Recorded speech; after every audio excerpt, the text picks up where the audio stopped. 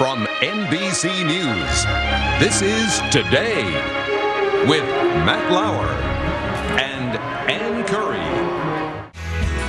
And this morning on Parenting Today, the hottest trends and toys from this year's Toy Fair. Today, contributor Stephanie Oppenheim from ToyPortfolio.com has a heads up on what your That's kids are going to be asking for later on this year. Steph, good to see you again. Hi, Al. So, what's a big trend?